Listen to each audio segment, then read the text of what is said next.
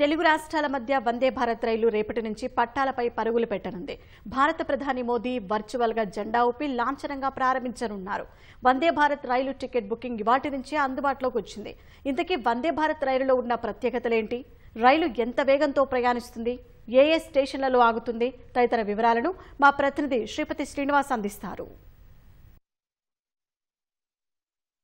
భారతీయ railway అత్యంత ప్రతిష్టాత్మకంగా ఏర్పాటు చేసిన వందే భారత్ రైలు వచ్చేసింది. సికింద్రాబాద్ విశాఖపట్నం స్టేషన్ల మధ్య ఈ రైలు పరుగులు పెడుతుంది. ఇంతకీ ఈ రైల్లో ఉన్నటువంటి ప్రత్యేకతలు ఏంటి? ఎటువంటి సాంకేతికతను ఇందులో వినియోగించారు? ఈ రైలు ఎక్కడెక్కడ ఆగుతుంది? ఎంత వేగంతో ప్రయాణిస్తుంది? ఆ వివరాలు తెలుసుకుందాం. ప్రస్తుతం మనము వందే భారత్ రైల్లో ఉన్నటువంటి డ్రైవర్ క్యాబిన్లో ఉన్నాం. లోకో పైలట్ ఇందులో ఉంటాడు. ఇక్కడ నుంచే ఈ వందే భారత్ ట్రైన్ను ఆపరేటింగ్ అనేది చేస్తూ ఉంటారు. అసలు ఈ వందే భారత్ ట్రైన్ ఏ విధంగా నడుస్తుంది ఏ విధంగా ఆపరేట్ చేస్తారనేది మనం ఒకసారి చూస్తాం. ఇక్కడ దీనిలో చూసుకుంటే నెంబర్ వన్ బటన్ వచ్చేసి door open left door open చేసేందుకు ఈ బటన్ను లోకో పైలట్ వినియోగిస్తాడు. ఆ తర్వాత సెకండ్ లెఫ్ట్ టూ నుంచి ప్రయాణికులు దిగేందుకు ఈ బటన్ నొక్కితే డోర్ ఓపెన్ అవుతుంది. ఆ తర్వాత డోర్ ఓపెన్ రైట్ రైట్కి సంబంధించినటువంటి డోర్ ఓపెన్ చేసేందుకు ఈ బటన్ నొక్కాల్సి ఉంటుంది. అదేవిధంగా రెండవ రైట్కు సంబంధించినటువంటి డోర్ ఓపెన్ చేయాలంటే ఈ బటన్ ఓపెన్ చేయాల్సి ఉంటుంది. అదేవిధంగా డోర్ ఎనబుల్ చేసేందుకు ఈ బ్లాక్ బటన్ నొక్కాల్సి ఉంటుంది. డోర్ క్లోజ్ చేసేందుకు బ్లూ బటన్ ఇచ్చారు. అదేవిధంగా ఆర్ఎంపియు ఆన్. అంటే ఇది దీనికి సంబంధించినటువంటి ఏసీ కంట్రోల్. అంటే కోచ్లో ఉన్నటువంటి ప్రయాణికులకు సరిపడాటువంటి ఏసీని సెట్ చేసేందుకు ఆర్ఎంపియు కంట్రోల్ను వినియోగిస్తారు. అదేవిధంగా పిఐఎస్ రీసెట్ అంటే రాబోయే స్టేషన్లకు సంబంధించినటువంటి దానికి సంబంధించినటువంటి ఇన్ఫర్మేషన్ ఏమన్నా మార్చుకోవాలనుకుంటే ఈ బటన్ బ్లాక్ బటన్ వినియోగిస్తారు. ఒకసారి మనము ఇక్కడ చూస్తే ఈ సీసీ కెమెరాలు అంటే ఇక్కడ కోచ్లో ఎవరెవరు ఉన్నారు ఎట్లా ఉన్నారు ఏం జరుగుతుంది అని ఇక్కడ లోక పైలట్ దీన్ని తెలుసుకునే అవకాశం ఉంటుంది. లోపల అంటే ఎగ్జిక్యూటివ్ చైర్లు కావచ్చు సాధారణ చైర్లు కావచ్చు లోపల ఉన్నటువంటి ప్రయాణికులు ఏం చేస్తున్నారు వాళ్ళ వాళ్ళు దిగాల్సిన సమయం వస్తుందో ఎవరైనా అనుకోకుండా దిగుతున్నారా లేదంటే బటన్ నొక్కుతున్నారా అనే దాన్ని లోకో పైలట్ ఇక్కడ ఉండి చూసుకునే వెసులుబాటు ఉంటుంది. దీంతో పాటు మనం ఒకసారి ఇది చూస్తే దీనికి సంబంధించినటువంటి స్టేషన్లకు లేదంటే రూట్ను కంట్రోల్ చేసుకున్నటువంటి బోర్డు ఇది. దీని తర్వాత ఒకసారి చూసుకుంటే స్పీడోమీటర్. ట్రైన్ ఎంత స్పీడ్లో వెళ్తుంది ఏంటి అంటే ఆ, ప్రాంతాన్ని బట్టి ఏరియాని బట్టి ట్రైన్ స్పీడ్ అనేది కంట్రోల్ చేసుకునే వెసులుబాటు ఇందులో ఉంటుంది. దాన్ని చూసుకోవచ్చు. ప్రస్తుతానికైతే నూట ముప్పై కొన్ని ప్రాంతాల్లో నూట ముప్పై ఉంది కొన్ని ప్రాంతాల్లో నూట నలభై కిలోమీటర్ల ఫర్ అవర్కు స్పీడ్గా వెళ్ళే విధంగా దీన్ని సెట్ చేశారు. మొత్తానికైతే వందే భారత్ రైలు అత్యాధునిక ఫీచర్లతో ఏర్పాటు చేసినట్లు మనకు దక్షిణ మధ్య రైల్వే శాఖ అధికారులు చెప్తున్నారు. ఈ అత్యాధునికమైనటువంటి రైలు ఈ నెల పదిహేను నుంచి అందుబాటులో ఉంటుంది. పదహారవ తేదీ నుంచి రెగ్యులర్గా అందరు ప్రయాణికులు ప్రయాణించే ప్రయాణించేందుకు ఈ రైలు అందుబాటులోకి ఉంటుంది. పద్నాలుగో తేదీ నుంచి అంటే నేటి నుంచి టికెట్ బుకింగ్ అనేది ఏర్పాటు చేశారు. ఈ వందే భారత్ రైళ్ళలో ప్రయాణించాలనుకున్నటువంటి ప్రయాణికులంతా కూడా నేటి నుంచి ఈ టికెట్లు బుక్ చేసుకునే అవకాశాన్ని కల్పించారు.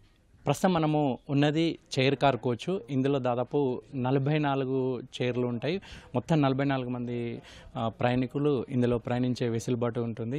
ఈ చైర్లు అయితే చాలా కంఫర్ట్గా ఉన్నాయి. ప్రయాణికులకు అవసరమైనటువంటి సిస్టమ్ ఒకవేళ ఎవరైనా ల్యాప్టాప్ కానీ లేదంటే కంప్యూటర్ కానీ అట్లాంటివి వాడుతూ ఉంటే దీని మీద పెట్టుకొని వాళ్ళు వినియోగించుకునే విధంగా వ్యాపారస్తులు వాళ్ళకి సంబంధించినటువంటి వ్యాపార లావాదేవీలు సిస్టమ్ మీద పెట్టుకొని చూసుకునే విధంగా కూడా కల్పించారు. దీంతోపాటు మనకు వెడల్పైనటువంటి అద్దాలు అంటే లోపల నుంచి బయట కనబడేటువంటి చెట్లు కావచ్చు గుట్టలు కావచ్చు ప్రకృతి కావచ్చు అటువంటి అన్నిటినీ ఆస్వాదించే విధంగా ఒక భారీ అద్దాన్ని కూడా ఏర్పాటు చేశారు. ప్రస్తుతం మనము ఎగ్జిక్యూటివ్ చైర్ కోచ్లో ఉన్నాము. ఇటువంటి ఎగ్జిక్యూటివ్ చైర్లు ప్రతి రైలులో ఒక రెండు కోచ్లు ఉంటాయి. మొత్తం ఈ చైర్లు అయితే మనం చూడొచ్చు. వన్ ఎయిటీ సిక్స్టీ డిగ్రీస్లో ఈ చైర్ తిరుగుతూ ఉంటుంది. అంటే ఇందులో ఉన్నటువంటి ప్రయాణికులు ఎదురెదురుగా ఉన్న వాళ్ళు సేమ్ ఫ్యామిలీ అయితే వాళ్ళు చూసుకోవచ్చు. లేదంటే ఒకే ఫ్యామిలీకి చెందిన వాళ్ళు ఎదురెదురుగా కూర్చుంటే వీటిని ఈ విధంగా తిప్పుకునే వెసులుబాటు ఉంటుంది. వీటితో పాటు మనం ఈ కోచ్లో చూడవచ్చు. ఇక్కడ ఒక టీవీ ఉంటుంది. ఈ టీవీలో వాళ్ళకి కావాల్సినటువంటి ప్రోగ్రాంలు చూసుకునే వెసులుబాటు ఉంటుంది. దాంతోపాటు వైఫై సౌకర్యం కూడా ఉంటుంది. ఇది పూర్తిగా ఏసీ కోచ్లు ఇందులో ఉన్నటువంటి. అయితే అందులో కోసం బ్రెయిలీ లిపిలో ఇక్కడ ఈ సీట్ల మీద ఇంగ్లీష్తో పాటు బ్రెయిలీ లిపిలో కూడా రాసి ఉన్నాయి. వాళ్ళు వీటిని టచ్ చేసి నెంబర్ తెలుసుకునే వెసులుబాటు ఉంది. దీంతోపాటు ఇక కోచ్లో ప్ర ప్రయాణించేటువంటి ప్రయాణికుల సౌకర్యార్థం ప్రతి కోచ్లో కూడా సీసీ కెమెరాలు. సీసీ కెమెరాలు ఉన్నాయి. మనం చూడవచ్చు ప్రతి కోచ్లో కూడా సీసీ కెమెరాలను ఏర్పాటు చేశారు. దీనివల్ల ప్రయాణికులు ఎంతమంది వస్తున్నారు ఎటు వెళ్తున్నారు అనేది కూడా తెలుసుకునే సౌలభ్యం ఉంటుంది. ఒకసారి మనం ఈ కోచ్లో ఇంకొక అధునాతన సౌకర్యం ఏంటి అంటే ఈ స్లైడర్లు. ఇందులోకి ప్రయాణించేటువంటి ప్రయాణికులు వీటిని మాన్యువల్గా ఈ డోర్ వేసుకునే వెసులుబాటు ఉంటుంది. ఎవరైనా ప్రయాణికులు వచ్చినప్పుడు ఆటోమేటిక్గా ఈ డోర్ కూడా తెరుచుకునే సౌకర్యం కూడా ఇందులో ఉంటుంది. అయితే మనం చూడవచ్చు ఈ స్లైడరు దీని అంటే ఎవరైనా ప్రయాణికులు వచ్చినప్పుడు ఆటోమేటిక్గా తెరుచుకుంటుంది. దాంతోపాటు మాన్యువల్గా కూడా దీన్ని ఓపెన్ చేయొచ్చు క్లోజ్ చేయొచ్చు. వందే భారత్ రైల్లో ఇంకో అత్యాధునిక ఫీచర్ ఒకటి ఉంది. ఇది ఏంటంటే ఇందులో ఉన్నటువంటి ప్రయాణికులు ఏమైనా సహాయం కోసం అర్థించేందుకు ఈ టాక్ బటన్ను నొక్కినప్పుడు అక్కడ ఉన్నటువంటి సిబ్బంది మీకు ఎటువంటి సహాయం కావాలి ఏ విధంగా మేము సహాయపడగలము అని కూడా అడుగుతారు. మనం ప్రస్తుతం వాళ్ళతో మాట్లాడే ప్రయత్నం చేద్దాం. Hello hello hello hello. Hello. Sir. Sir. సాయం కావాలండి? సార్ ఈ రైల్లో ఈ బటన్ నొక్కడం వల్ల ఎటువంటి ఉపయోగాలు ఉంటాయి సార్? ఈ బటన్ ప్రెస్ చేస్తే లోకో పైలట్కి వస్తుందండి మెసేజ్ ఇది ఈ బటన్ నొక్కడం వల్ల లోకో పైలట్కి సమాచారం వెళ్తుంది. లోకో పైలట్ దగ్గరికి ఇది వెళ్తుంది. ఆయన వెంటనే సహాయ సహకారాలు అందిస్తారు. వందే భారత్ రైల్లో అనేక ప్రత్యేకతలు ఉన్నాయి. ఇటువంటి ప్రత్యేకతలు ఉన్నటువంటి రైలు సికింద్రాబాద్ నుంచి విశాఖపట్నం వైపు నడుస్తుంది. అయితే ఈ నెల పదిహేను నుంచి రైలు ప్రారంభమైనప్పటికీ పదహారవ తేదీ నుంచి అధికారికంగా సేవలు అందిస్తుంది. ఒకసారి దీనికి సంబంధించినటువంటి ఛార్జీలు కనుక చూసుకుంటే వరంగల్ నుంచి వరంగల్కు సికింద్రాబాద్ నుంచి వరంగల్కు ఐదు వందల ఇరవై రూపాయలు సికింద్రాబాద్ నుంచి ఖమ్మంకు ఏడు వందల యాభై రూపాయలు సికింద్రాబాద్ నుంచి విజయవాడకు తొమ్మిది వందల ఐదు రూపాయలు సికింద్రాబాద్ నుంచి రాజమండ్రికి పదమూడు వందల అరవై ఐదు రూపాయలు సికింద్రాబాద్ నుంచి విశాఖపట్నానికి పదహారు వందల అరవై ఐదు రూపాయలు. ఇవన్నీ కూడా చైర్ కార్డు ఛార్జీలు మాత్రమే అని కూడా రైల్వే శాఖ ప్రకటించింది. అయితే ఎగ్జిక్యూటివ్ చా చైర్ కా ఛార్జీలు అయితే మాత్రం దీనికి రెండింతలు. అంటే ఉదాహరణకు సికింద్రాబాద్ నుంచి వరంగల్కి వెళ్ళాలంటే సుమారు పదకొండు వందల వరకు సికింద్రాబాద్ నుంచి ఖమ్మంకు వెళ్ళాలంటే పదిహేను వందల వరకు సికింద్రాబాద్ నుంచి విజయవాడకి వెళ్ళాలంటే పద్దెనిమిది వందల వరకు సికింద్రాబాద్ నుంచి రాజమండ్రికి వెళ్ళాలంటే